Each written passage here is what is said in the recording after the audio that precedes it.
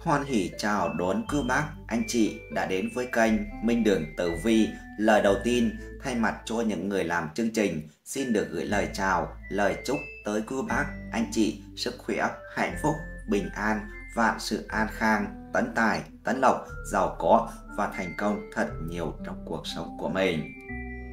Và nếu như quý cô bác, anh chị là lần đầu tiên đến với kênh Minh Đường Tử Vi thì hãy hoan hỷ đăng ký kênh, ấn chuông để được đón xem những video mới nhất mà 30 tập chương trình đăng tải cũng như là thấy nội dung hay, hữu ích thì hãy like, chia sẻ video cho mọi người cùng xem. Và quý cô bác, anh chị cũng đừng quên để lại ý kiến đóng góp ở phía bên dưới phần bình luận kênh Minh Đường Tử Vi. Vô cùng cảm ơn quý cô bác, anh chị. Và trong nội dung video ngày hôm nay mà 30 tập chương trình gửi tới quý bác, anh chị đó chính là tử vi trọn đời tuổi Mậu Tuất sinh năm 1958 từ năm 67 tuổi trở đi. Nếu như nắm bắt được cơ mệnh này thì sẽ hóa hung thành cát tránh họa đắc phúc giàu sang phú quý cho đến hết trọn cuộc đời. Quý vị thân mến, trong video ngày hôm nay, Minh Đường Tử Vi sẽ chia sẻ đến quý vị về nội dung Tử Vi chọn đời cho người tuổi Mậu Tuất, sinh năm 1958, sau năm 66 tuổi, cần biết điều này, tránh họa đắc phúc, giàu sang chọn đời. Tiết lộ bí ẩn cuộc đời tuổi Mậu Tuất sinh năm 1958, về già bất ngờ thần tài gọi tên, phát vàng hưởng bạc, đổi đời giàu sang, tiền vàng xếp cao như núi, bốn mùa tươi tốt sống dài lâu, cửu đỉnh niên tăng phúc thọ giàu, quá nửa đời người gieo quả phúc, lộc tài thịnh vượng mọc như dâu. Vâng, thưa quý tín chủ tuổi Mậu Tuất sinh năm 1958, Tiến Sơn chi cầu thân mến, ở đời không ít người hám tài, tham quyền háo sắc mà đánh mất đi lý trí, đạo đức, nhân cách, khiến bản thân lâm vào cảnh thân bại danh liệt. Người sống thiện lương thường chấp nhận thua thiệt, nhưng trời cao sẽ phù hộ. Mỗi một hành động hướng thiện tích đức đều giúp bản thân tăng thêm phúc khí. Khi đứng ở trên vị trí cao hơn người khác, ắt sẽ bị không ít người đố kỵ. Đó là điều khó có thể tránh khỏi, bởi không muốn người khác hơn mình là thói ghen tị thường tình của con người. Cổ nhân có câu, Trung Hòa là phúc, cực đoan là họa, người mà trong lòng bình thản, làm việc trung dung ắt sẽ có phúc báo. Ngược lại, kẻ mang tính cực đoan thì làm việc gì cũng không thuận lợi và dễ giúp nước họa vào thân, hành trình cuộc đời còn lại vô cùng quý giá. Vậy nên, ta phải có từng đường đi nước bước cẩn trọng để giữ cho mình những gì mà mình đang có, đồng thời thuận lợi bình an bước trên con đường thịnh vượng, viên mãn trong suốt quãng đời còn lại. Xem tử vi chọn đời của cô bác tuổi Mậu Tuất sinh năm 1958, cuộc đời thời trẻ nhiều lao đao, lận đận, vất vả ngược xuôi, khó khăn đủ đường. Nhưng không vì thế mà con giáp này nản lòng, nhờ sự nỗ lực cố gắng của mình mà từ trung vận trở đi, họ gặt hái được thành công, quý nhân giúp đỡ, tài lộc được tốt đẹp, công danh sự nghiệp dạng ngời, về hậu vận gặp nhiều may mắn, phúc lộc hội tụ, công thành danh toại, tiền bạc rủng rỉnh, an hưởng tuổi già. Trong chuyên mục tử vi của 12 con giáp ngày hôm nay, Minh Đường Tử Vi xin mời quý vị cô bác cùng các bạn luận bàn về những bí ẩn cuộc đời của người tuổi Mậu Tuất sinh năm 1958 để quý vị biết được vận mệnh của mình sẽ ra sao khi về già, năm nào được hưởng phước lộc trời ban, công danh, sự nghiệp, tài lộc, tình duyên, sức khỏe và gia đạo sẽ thế nào. Không để quý vị chờ đợi lâu hơn nữa, ngay bây giờ xin mời quý vị cùng đi tìm hiểu nội dung chi tiết của video ngày hôm nay. Quý vị thân mến, chắc hẳn hiện tại nhiều cô bác tuổi Mậu Tuất sinh năm 1958 vẫn đang cật lực làm việc, có người đã tích lũy được chút của cải mua nhà, sắm xe, có của ăn của để. Tuy nhiên, có nhiều người trong hoàn cảnh khác thì không may mắn được như vậy. Nhiều quý vị cô bác than phiền với Minh Đường Tử Vi rằng, làm thì vất vả như trâu như ngựa, mà tiền đâu chẳng thấy, nợ nần, cứ ngày một chồng chất không biết bao giờ mới hết khổ. Có cô bác lại bảo rằng, mấy chục năm khổ sở lo cho con cho cái, nhưng khổ vẫn hoàn khổ, cuối đời không ai chăm sóc cho mình, thậm chí nghèo không mua nổi một hộp bánh. Thế nhưng nghèo khổ quá đủ rồi, Tử Vi hé lộ tuổi Mậu Tuất biết, ba cơ hội đổi đời giàu sang được tiết lộ ngày hôm nay, sẽ đổi vận phát tài giàu nhanh chóng mặt. Cô bác có biết không, ngoài kia không phải ai cũng có đủ tiền đang trải cuộc sống, có những cô bác tuổi Mậu Tuất bước vào tuổi hậu niên rồi, nhưng vẫn cố gắng tần tảo, làm việc đứa đồng nào hay đồng ấy, để trang trải cuộc sống, mỗi mảnh đời là mỗi câu chuyện khác nhau, chúng ta không thể đánh đồng tất cả, Nay cô bác Mậu Tuất đang có cuộc sống như thế nào rồi, mọi thứ vẫn ổn cả chứ? Cô bác có biết không, còn rất nhiều thứ chi phối vận mệnh của tuổi Mậu Tuất, nhưng thứ ảnh hưởng nhiều nhất nhất đến cuộc đời họ lại tiềm tàng trong hai từ tùy duyên. Mậu Tuất trân trọng những cái đang có, vun vén và chăm sóc vẹn toàn, nhưng nếu mất mát điều gì thì họ sẽ chấp nhận trong vui vẻ, đôi khi tính khí hơi thất thường và bảo thủ. Thế nhưng tính cách của họ khá mạnh mẽ, kiên cường, nhưng thiếu đi một chút suy tính sâu xa, thiếu lý trí dẫn dắt, thành thử khiến đường dễ thì họ lại không đi, đường khó thì họ lại đâm vào, đường thẳng thì họ lại không chọn, mà đường vòng thì quanh co lại chọn, thành thử thành quả lắm lúc dở dang, khả năng tiềm ẩn thật nhiều, nhưng thành tựu thực tiễn thì lại ít. Nhưng được một chữ thỏa mãn cho vạn sự mà Mậu Tuất đã lựa chọn trong suốt những năm tháng thanh xuân của chính mình, được một chữ đã, như một sự đã đời của ngày hè nóng bỏng, được uống một ly nước mía giải khát, cái đã của Mậu Tuất chính là việc trong thời điểm nào họ cũng đã lựa chọn theo đúng đường mà họ mong mỏi. Nó có thể sai ở tương lai, có thể hối hận khi nhìn lại, có thể chẳng rút ra được bài học gì từ quá khứ đã trải, nhưng ít nhất nó đúng ở hiện tại, vẹn tròn cái suy nghĩ và mong mỏi hoàn mỹ cho những gì mậu tuất đang chảy trong từng phút sống và tồn tại.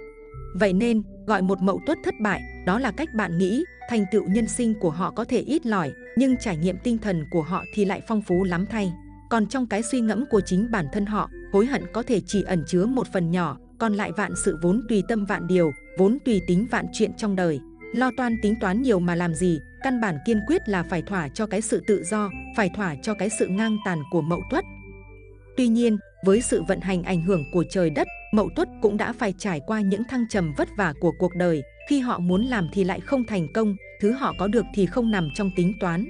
Giang dở, dở giang, thành tựu vẫn có nhưng nó là cái nửa vời. Có chăng thành công lớn nhất của mậu tuất là cuối cùng cũng đã biết mình muốn làm gì, mình nên làm gì mình sẽ làm gì và mình dám làm gì để thành tựu thăng hoa. Nó cũng là 30 năm đầu đời tơi tả, đi càng nhiều thì vết chân càng lắm. Vết chân càng lắm thì lỗi lầm càng khó tránh khỏi, cũng là lúc tiểu nhân lợi dụng, bè lũ thù ghét, chỉ để vui, để hớn hở lao vô cuộc đời của mậu tuất với sự thẳng tính mà họ có. Dù có trực giác tốt về những thăng trầm của cuộc đời, họ cũng sẽ luôn dính vào những câu chuyện thị phi và mỏi mệt, nhưng bước sang giai đoạn hậu vận, vận trình sẽ đổi thay. Khả năng đây là con đường bắt đầu lại sau suốt những năm qua, nỗ lực vẫn có, nhưng thời thế khó xuôi nên tự thành ít ỏi, tiền tài thì đọng ít mà hư hao trái phải thì lại nhiều. Nó như kiểu là bị gặm nhấm, cắn đông một tí, cắn tê một tẹo, cuối cùng để lại một mậu tuất với hai bàn tay không hẳn là trắng, nhưng cũng chẳng có được nhiều phần. Từ đầu năm đến giờ nhiều mậu tuất vẫn dính đến những thị phi, những điều tiếng, những đi đọt củ hành củ tỏi của những người bên cạnh hoặc những người xa lạ chỉ dịch dập chờ thời cho một vụ ảnh hưởng dài lâu, có 30% là do bản thân gây ra, còn 70% lại là do bản mệnh mậu tuất thu hút những kẻ thù tiềm tàng ẩn náu. Nhiều khi cái họa do người lại không đáng sợ, họa do trời đầy mới đáng lo, nhìn ngược nhìn xuôi, nhìn trái nhìn phải, cảm thấy nửa năm qua chảy chật như nửa kiếp người. Và thậm chí ở thời điểm Mậu Tuất đang nghe những lời nói này, dù đã đi qua một nửa chặng đường của năm nay, họ cũng đang mông lông chán nản một chút gì đấy cho những vần xoay mỏi mệt trên đường đời. Cái thú vị của Mậu Tuất là họ mạnh mẽ, thấm rất sâu, việc ngã ở đâu thì đứng lên ở đó, sau đó lại tiếp tục lao đầu vào những sự lựa chọn của bản thân. Cái bản tính trời sinh nóng vội, bất chấp tất cả và luôn muốn ngay và mau của Mậu Tuất lại dĩ nhiên là thứ khó sửa. Nhưng giờ bản thân Mậu Tuất thay vì chỉ hùng hục lao vào như trâu như ngựa thì cũng đã biết ngẫm nghĩ lo chu toàn mọi việc, họ đã biết lắng nghe, đã biết định hướng, đã biết lên kế hoạch và gắng hượng kiên trì để làm theo. Dĩ nhiên, cũng lắm lúc họ lại cả thèm chóng chán, sao nhãng mà bỏ quên mục đích mình đã vạch ra. Nhưng với bản tính trời sinh, không chấp nhận một cuộc sống tầm thường, không bằng lòng với sự bình hòa, nhàn tản, Mậu Tuất sẽ lại khuấy động cuộc đời mình, với cái ý chí quyết tâm, thành tựu lớn, lại bước một chân ra ngoài mong muốn trải nghiệm muôn nơi, lại truy cầu một cuộc nhân sinh màu nhiệm đầy rực rỡ, nơi máu sẽ đổ, mồ hôi sẽ rơi, nước mắt sẽ chảy, nhưng không thể bù lấp được mong muốn sống đúng nghĩa, chứ không chỉ đơn thuần chỉ là tồn tại của mâu thuẫn. Những cái chất này dù là nhỏ, nhưng Cien cùng với mậu tuất, từ quá khứ cho đến hiện tại, và tương lai kết hợp cùng cá tính, và đưa đến những sự lựa chọn không bình thường trong suốt những năm tháng sau này. Mậu tuất của tương lai, từ đầu năm đến nay, Mậu tuất gặp khá nhiều rắc rối, nó bao gồm cả những thị phi, rắc rối pháp lý, công việc dở dang, công nợ chậm chạp cho đến những vấn đề về sức khỏe, suy tư, đau đầu, dối trí và phải đến tận thời điểm này, những tàn dư của quá khứ này mới thôi không còn ảnh hưởng tới Mậu Tuất, để từ nay trở đi, bản mệnh sẽ gặt hái những thành quả sau bao nỗ lực vất vả. Một số ít Mậu Tuất may mắn hơn, khi thời vận không thuận trong thời gian khá dài, họ lại đạt được sự trọn vẹn trong chuyện làm ăn, mỹ hảo yên bề, đổi lấy bước đệm cho những thời điểm tương lai. Vận mệnh tử vi chọn đời người tuổi Mậu Tuất sinh năm 1958. Về phương diện công danh, sự nghiệp, Người tuổi mậu tuất có suy nghĩ rất thực tế, họ làm gì cũng cân nhắc trước sau, làm việc cũng cẩn trọng và có thể tin cậy được, nghị lực cao, tỉ mỉ, cần cù. Có tinh thần phấn đấu khắc phục mọi khó khăn, họ không có suy nghĩ chờ đợi may mắn đến với mình hay trông cậy vào người khác mà chuyện gì cũng dựa vào chính bản thân mình. Người này quan niệm những gì mình làm ra mới thực sự chắc chắn, họ cứ chăm chỉ vùi đầu vào làm việc, từng bước, từng bước một, tiến dần lên tới mục tiêu đã định, cảm giác an toàn và thu nhập ổn định là những điều kiện đầu tiên mà con giáp này cân nhắc khi lựa chọn công việc.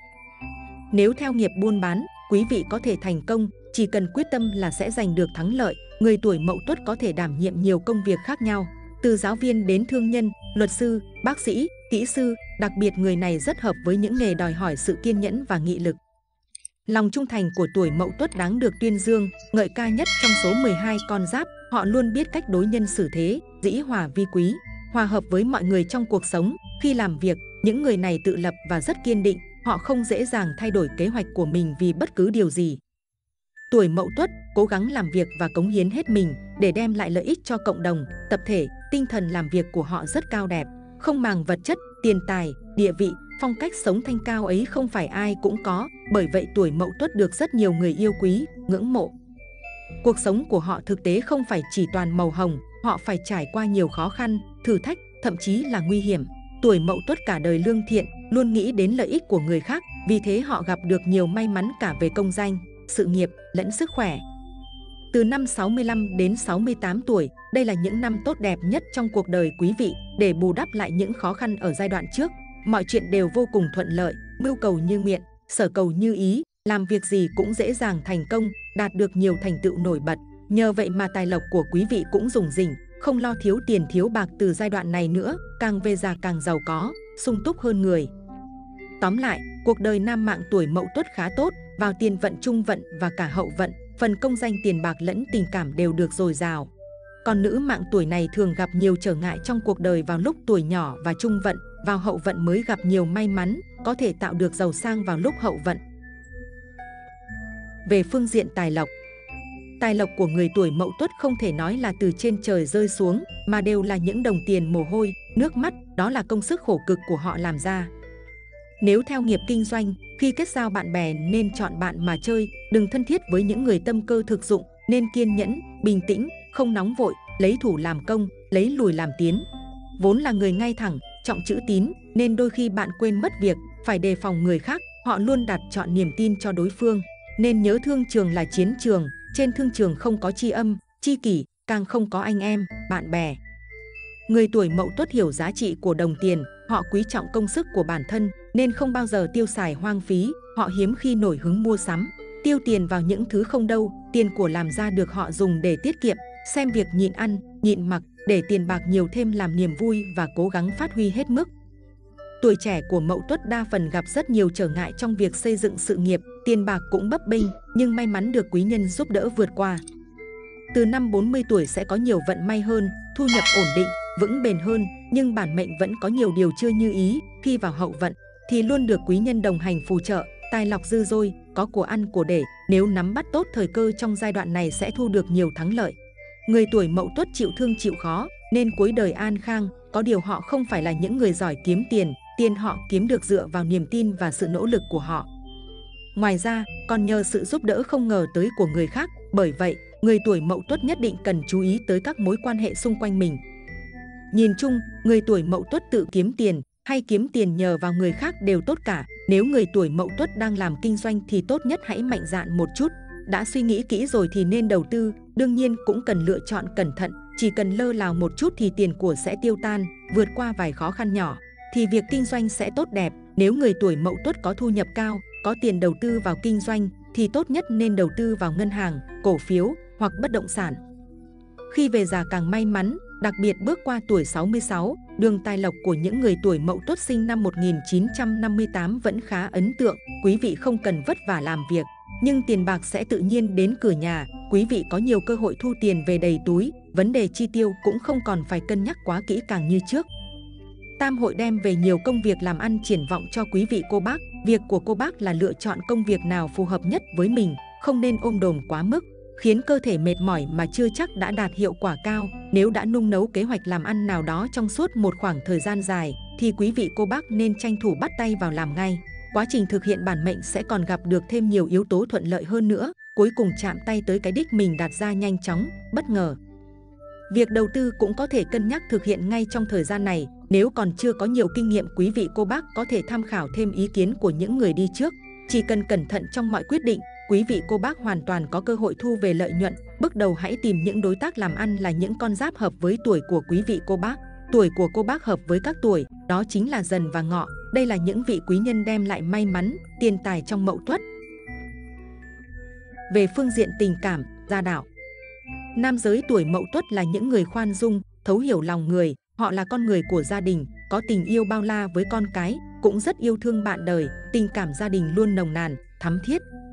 Nữ giới tuổi này luôn muốn giữ tình yêu trong sáng, thuần khiết, nhưng họ không giỏi bộc lộ tình cảm, tuy rất chân thành với tình yêu, nhưng đôi khi lại quen với cảm giác cô độc, không giỏi nói chuyện, bầu bạn, tâm tình. Song đây là mẫu phụ nữ mà đàn ông muốn lấy về làm vợ, họ rất trung thủy, một lòng một dạ với chồng con. Nếu vợ chồng xảy ra mâu thuẫn, nên dành thêm thời gian trò chuyện để hiểu và thông cảm nhau hơn, tạo thêm nhiều cơ hội để có những kỷ niệm đẹp bên gia đình, hóa giải hiểu lầm. Trong cuộc sống, không ai là người hoàn hảo và tuổi mậu tuất thấu hiểu điều đó. Họ luôn cảm thông với những khuyết điểm của người khác và cố gắng hoàn thiện bản thân mình. Dù người bạn đời của mình có nhiều nhược điểm đi chăng nữa, tuổi mậu tuất vẫn luôn bao dung và che chở và yêu thương họ. Về nam mạng, tuổi mậu tuất về vấn đề tình duyên thì khá thuận lợi, nhưng nếu sinh nhằm những tháng này thì có nhiều thay đổi.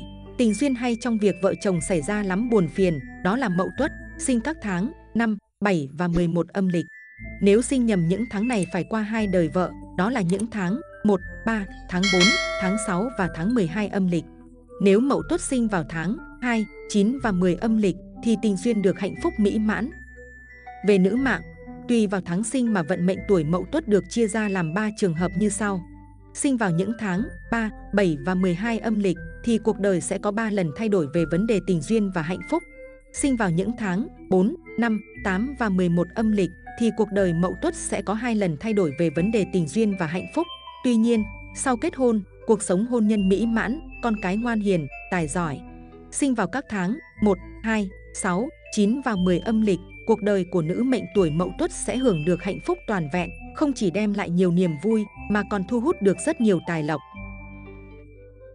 Về phương diện sức khỏe, Người tuổi mậu tuất ngũ hành thuộc mộc thường dễ mắc các bệnh liên quan đến đường tiêu hóa, bệnh dạ dày, nên chú ý thói quen sinh hoạt điều độ, ăn ngủ đúng giờ, chăm chỉ luyện tập thể dục thể thao, giữ cho tinh thần thoải mái.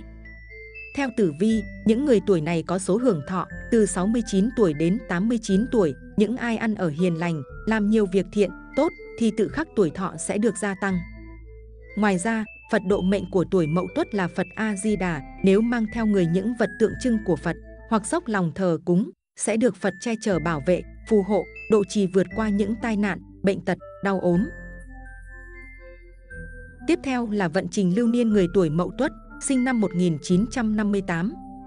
Năm Tý, người tuổi Mậu Tuất có thể sẽ gặp phải nhiều điều không như ý muốn trong năm này, đặc biệt là trên phương diện tình duyên. Vợ chồng thường xuyên mâu thuẫn với nhau, quan hệ đôi bên lúc tốt, lúc xấu, cần lưu ý kẻ thứ ba xuất hiện. Phương diện sự nghiệp, tài lộc có khá khẩm hơn, song Mậu Tuất làm gì cũng vẫn cần cân nhắc kỹ càng. Năm Sửu, vận trình của bản mạnh tiếp tục có dấu hiệu đi xuống trong năm này với người làm ăn kinh doanh. Mậu Tuất cần đặc biệt thận trọng với nguy cơ có kẻ tiểu nhân quấy phá, hành sự chớ nên nóng nảy, hãy nói ít làm nhiều để đỡ vướng họa thị phi. Đến cuối năm, may mắn có quý nhân trợ giúp, Mậu Tuất có nhiều cơ hội để chuyển bại thành thắng. Năm dần, xem vận trình lưu niên của tuổi Mậu Tuất, năm này bản mệnh khó thành đại sự, nhiều kế hoạch vướng phải khúc mắc, chưa thể giải quyết nhanh chóng. Việc làm ăn kinh doanh thường xuyên phải chịu sự cạnh tranh gay gắt, kết bạn không cẩn thận thì dễ bị lợi dụng hoặc lừa gạt. Năm này, quý vị Mậu Tuất nên chú ý hành thiện tích đức.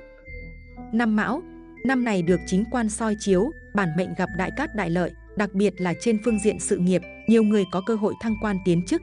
Phương diện tình duyên thì cần cẩn trọng hơn, đặc biệt là với những người đã có gia đình, chớ vì một phút ham chơi mà hủy hoại hạnh phúc, danh tiếng và sự nghiệp bản thân.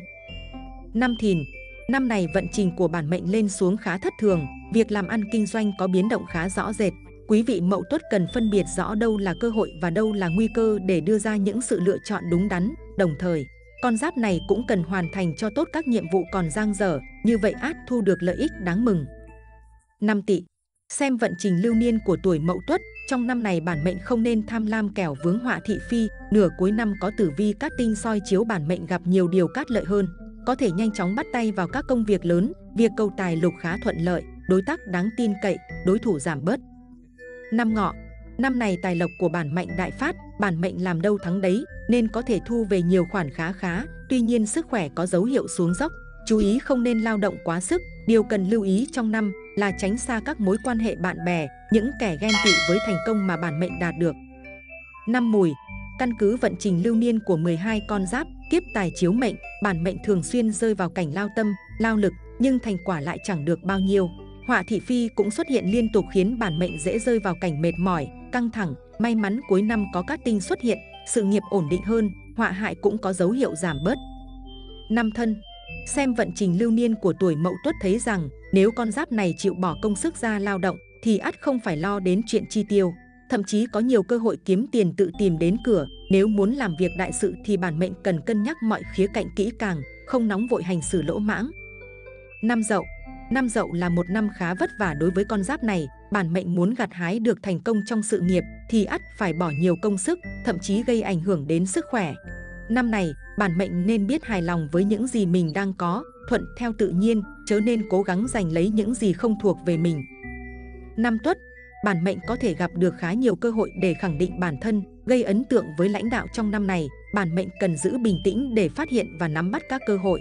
Tuy nhiên, trong năm sức khỏe có dấu hiệu xuống dốc, bản mệnh thường xuyên mắc phải bệnh nhẹ, vì vậy cần chữa trị kịp thời, đồng thời chú ý đến việc rèn luyện thể dục thể thao. Năm hợi Muốn gặt hái được thành công trong năm hợi, người tuổi mậu tuất chớ nên giữ những tư duy cũ kỹ của mình và đi theo lối mòn. Bản mệnh cần phải dám mạo hiểm, dám thử thách bản thân để tìm ra hướng đi mới. Năm này có thái dương các tinh nâng đỡ, trên thực tế, cơ hội để bản mệnh phát triển khá nhiều, vì thế, hãy tự tin lên. Tương sinh, tương hợp và nguyên lý phong thủy dành cho người tuổi mậu tuất, sinh năm 1958. Mỗi con giáp đều có một vị Phật hoặc Bồ Tát bảo vệ, che chở và phù hộ cho mình, tùy vào ngày sinh hoặc ngày kết hôn, gọi là Phật độ mệnh, Phật bản mệnh hoặc Phật hộ mệnh thông qua 12 nhân duyên, thiên can, địa chi và năm yếu tố cơ bản là đất, nước, gió, lửa, không khí. Phật giáo Mật Tông đưa ra thuyết 8 vị bản tôn chủ quản 12 con giáp. Trong 12 con giáp này, Phật bản mệnh tuổi Mậu Tuất là Phật A-di-đà. Phật A-di-đà là một trong các vị thần có tuổi thọ vô lượng thọ, không thể lượng được tuổi thọ. Ngài là vị giáo chủ của cõi cực lạc phương Tây. Phật A-di-đà được biết đến với 48 lời nguyện lớn trước khi trở thành Phật. Một trong những lời nguyện đó là sẵn sàng tiếp dẫn chúng sinh khi chúng sinh niệm danh hiệu của Ngài. Ngài phù hộ chúng sinh giải trừ mọi phiền não, nhọc nhằn, vất vả, có khả năng sáng tạo, đem lại lợi ích cho cả gia đình và xã hội, góp công xây dựng sự nghiệp nhà Phật, từ bi hỷ xả cho muôn loài. Nhận được sự bảo hộ của Phật A-di-đà, nếu người tuổi tuất mang theo người những vật tượng trưng của Ngài hoặc dốc lòng thờ cúng, sẽ được Đức Phật che chở bảo vệ, Ngài sẽ dẫn đường chỉ lối vượt qua gian nan, thử thách, hóa giải kiếp nạn, nhận được nhiều may mắn, cả đời an lành, cát tường. Đức Phật A-di-đà là Đức Phật làm giáo chủ ở cõi Tây Phương cực lạc, Ngài có các tên gọi khác là Vô Lượng Quang, Vô Lượng Thọ. Ngài cùng với Quan Âm Bồ Tát và Đại Thế Chí Bồ Tát được gọi là ba vị thánh của phương Tây. Tuổi hợp với Mậu Tuất, sinh năm 1958. Tuổi Mậu Tuất hợp với tuổi Dần và tuổi Ngọ, tam hợp quý nhân mang lại may mắn, tiền tài, phúc lộc, vì vậy tuổi mậu tuất nên hợp tác, giao hảo với hai tuổi này, tăng hiệu quả trong việc làm ăn và nhận được nhiều may mắn trong cuộc sống. Người tuổi tuất không hợp với người tuổi thìn, tuổi mùi và tuổi sửu, nếu kết hợp làm ăn với tuổi này, vận thế sẽ đi xuống nhiều. Hướng phong thủy Nam mạng tuổi mậu tuất hợp với hướng đông, hướng bắc, đông nam và hướng nam, làm nhà những hướng này phú quý thịnh vượng, người trong nhà đỗ đạt cao con cháu khỏe mạnh và thông minh, gia đình hòa thuận. Nữ mệnh tuổi mậu tuất hợp với hướng Tây, hướng Tây Nam, Đông Bắc và Tây Bắc, làm nhà những hướng này được giàu sang phú quý, tăng nhân đinh, nhiều tài lộc, gia đình hòa thuận, khỏe mạnh và trường thọ, con cháu thông minh, hiền đạt, thịnh vượng lâu bền. Màu sắc hợp tuổi mậu tuất, sinh năm 1958. Màu đen Màu đen thường làm người ta liên tưởng đến quyền lực nghiêm minh và nhã nhặn, giống như những doanh nhân, chính trị gia thường khoác trên mình một bộ vest màu đen vậy. Màu đen gắn liền với sức mạnh, sự sợ hãi bí ẩn, sức mạnh uy quyền, thanh lịch, trang trọng, chết chóc, xấu xa và hung hăng, uy quyền, nổi loạn và tinh vi. Màu xanh dương Xanh dương là đại diện cho màu sắc của biển, của trời, còn xanh là cây đại diện cho rừng núi, cây cối. Màu xanh dương mang đến cảm giác sâu thẳm, rộng lớn, bao la, nhưng vô cùng vững vàng và bình yên, giống như khi chúng ta dõi mắt nhìn theo một khoảng trời xanh vậy. Màu xanh dương cũng mang ý nghĩa của sự trong sáng, tinh khiết và là màu của sự nam tính. Xanh dương còn có liên hệ mật thiết đối với trí tuệ và sự thông minh. Quan điểm này đã được các nhà khoa học chứng minh là tồn tại và chính xác. Màu xanh dương nhạt diễn tả sự nhẹ nhàng, màu xanh dương nhạt còn truyền đi thông điệp là sự thông cảm, sẻ chia. Màu xanh dương đậm thể hiện trí tuệ, sức mạnh bền vững trong công việc. Màu xanh dương đậm là biểu tượng của tính chuyên nghiệp, hiệu quả khi học tập hoặc làm việc trong không gian môi trường. Màu xanh dương thì năng suất làm việc và học tập sẽ cao hơn so với điều kiện bình thường. Xanh lá cây, màu xanh lá cây là màu thuộc hành mộc, là màu tương hợp với mệnh mộc. Xanh lá cây hay còn gọi là xanh lục là màu sắc đại diện cho cây cối, núi rừng. Nó không chỉ mang ý nghĩa như một màu sắc đơn thuần, mà hơn cả nó còn là biểu tượng của sự an toàn, tượng trưng cho sức sống, màu mỡ, mát mẻ, trong lành, hòa bình và phát triển. Màu xanh tạo cảm giác dịu nhẹ trong mắt và truyền tải thông điệp hòa bình đến người đối diện. Quý vị thân mến, Mậu Tuất ở tuổi ngoài 60 có 3 đại kỵ nên đề phòng để cả đời bình an, hạnh phúc. 1. Không nên bất chấp tất cả vì lợi ích khi Mậu Tuất ngoài tuổi 60 không còn là trẻ con bỡ ngỡ hay các thanh thiếu niên chưa va vấp trong xã hội. Tuổi Mậu Tuất đã gặp nhiều kiểu người trong xã hội và tích lũy được kinh nghiệm sống nhất định, do đó cần phải biết điều gì nên làm và điều gì không nên làm. Lợi ích là điều mà ai cũng muốn theo đuổi, tuy nhiên, nếu chỉ muốn thu lợi cho mình, bất chấp việc làm có thể tổn hại tới người khác, thì Mậu Tuất có thể sẽ phải trả một cái giá đắt và chắc chắn phần đời còn lại của tín chủ sẽ không còn bình yên. 2. Không chạm vào những thứ gây hại cho cơ thể và sức khỏe. Mậu Tuất ở tuổi sau 60 là độ tuổi hoàng kim, là thời kỳ thịnh vượng, nhất là với phái mạnh. Nhưng đồng thời đây cũng là giai đoạn dễ tích lũy nhiều mầm mống, bệnh tật. Nếu không lưu ý, cẩn thận, các chức năng của cơ thể sẽ ngày một suy giảm theo thời gian và sự lão hóa của tuổi tác. Ông chủ của mạng xã hội Facebook hay như nhà tỷ phú Bill Gates cũng ngủ đủ 7 tiếng một đêm để sức khỏe dẻo dai, tinh thần nhạy bén, họ đều là những tỷ phú, có khả năng kiếm được rất nhiều tiền trong vài giờ đồng hồ, nhưng không bao giờ vì thế mà bỏ quên sức khỏe của mình, không biết cách tự chăm sóc sức khỏe của bản thân, đồng nghĩa với sự vô trách nhiệm đối với gia đình của bạn. Do đó, hãy chăm sóc nền tảng gốc rễ của sinh mạng, bảo vệ tài sản quý giá nhất, đó chính là sức khỏe của Mậu Tuất. 3. Tuyệt đối tránh xa những mối quan hệ ngoài hôn nhân. Mậu Tuất sau tuổi 60 nên có nền tảng gia đình ổn định để có thể tập trung vào dồn sức phấn đấu xây dựng sự nghiệp. Nếu bản mệnh để những cám dỗ bên ngoài hôn nhân cuốn lấy tâm trí thì sẽ không còn thời gian để tập trung làm việc. Lúc nào cũng đau đầu giải quyết mâu thuẫn gia đình. Đây cũng là giai đoạn mà Mậu Tuất nên xây dựng hình tượng và vị thế trong xã hội. Những nhân tố này không chỉ được tạo nên từ công danh, sự nghiệp, tài lộc, nhân phẩm và tư cách đạo đức của tín chủ sẽ ảnh hưởng rất lớn đến việc phát triển và hình thành nhân cách của con cái. Đừng để những sai lầm của mình mà con cái phải gánh chịu. Hãy dùng giai đoạn này để quyết định vận mệnh nửa đời còn lại của mình. Những mẫu tuất vội vàng, tư lợi, rất dễ đánh mất bản thân, không chỉ là đường chệch hướng mà còn chuốc họa vào người. Ngược lại xác định được con đường tương lai và ba điều đại kỵ nên tránh xa sẽ là nền tảng để mẫu tuất vững bước trên con đường phát triển bản thân. Và tiếp theo, xin mời quý vị cùng lắng nghe lời Phật dạy về sức khỏe để biết trân trọng sinh mạng của mình hơn. 1. Hãy nhớ rằng, đời người là vòng luân hồi, sinh, lão, bệnh, tử. Bệnh tật là điều không ai có thể tránh được, cuộc đời này chúng ta ai cũng sẽ phải trải qua những lần đau bệnh, đừng chối bỏ, hãy thản nhiên chấp nhận. 2. Không phải tiền bạc, không phải tình cảm, không phải công danh, thứ quan trọng nhất chính là con người bạn, có sức khỏe là có tất cả mọi thứ. Người khỏe mạnh có trăm có ngàn điều muốn được thực hiện, những người ốm yếu, không có sức khỏe thì chỉ có mong muốn duy nhất là khỏe mạnh mà thôi. 3. Đạo Phật nói về chăm sóc sức khỏe như thế nào? Theo lời Phật dạy về sức khỏe thì bệnh tật sinh ra đều có nguyên do của nó, chẳng có gì là ngẫu nhiên. Sức khỏe và bệnh tật là mối duyên khởi, nhưng không hẳn là định mệnh, bệnh nặng hay nhẹ, là do ở đời chúng ta đã gieo nhân thiện ác khác nhau. 4. Tương lai chúng ta sẽ tốt đẹp hay u tối, phụ thuộc vào hành động trong quá khứ và hiện tại của chính chúng ta. Gieo nhân nào thì gặp quả ấy, gieo nhân vô tình thì gặt quả vô tình, gieo nhân cố ý thì gặt quả cố ý. 5. Tự tạo duyên lành, làm nhiều việc tốt. Năng tích đức hành thiện, như vậy với ý thức hành động của bản thân, chúng ta hoàn toàn có thể dùng đức năng thắng số, làm nghiệp thay đổi, nhẹ đi hay biến mất, từ đó có được sức khỏe tốt nhất cho mình. 6. Sức khỏe không chỉ đơn giản là thể chất, còn là tinh thần nữa. Sức khỏe con người được hòa hợp bởi nhiều yếu tố như thân thể và tinh thần trong chính con người mình hay cá nhân và cộng đồng trong một môi trường sống. Các yếu tố này phải cân bằng, hòa hợp với nhau thì sức khỏe mới tốt, giữ được tinh thần lạc quan, vui vẻ thì thân tâm cân bằng. Cơ thể ít mắc bệnh, cộng đồng cùng khỏe mạnh thì cá nhân cũng dễ khỏe mạnh hơn so với việc sống trong cộng đồng đầy dịch bệnh hay bất ổn về kinh tế, xã hội. 7. Chính vì thế khi mắc bệnh, muốn điều trị dứt điểm thì phải kết hợp điều trị cả thân và tâm, không chỉ đơn giản phụ thuộc vào thuốc men để trị bệnh ở thân thể. Cần phải điều trị cả về tâm lý, để tâm hồn an lạc, biết trân trọng sự sống, như vậy thì chữa trị bằng thuốc men trên thân thể mới đạt hiệu quả cao nhất. 8. Cần yêu quý cuộc sống, trân trọng sức khỏe từng phút, từng giây. Mình đang sống trên đời, hãy sống có ý nghĩa, sống theo mong muốn của bản thân, vì sức khỏe không chờ đợi ai cũng không thể mua bán hay xin xỏ, đừng chờ tới khi tuổi già sức yếu mới thấy trân trọng sự sống, hãy tận hưởng cuộc sống này ngay khi có thể. 9.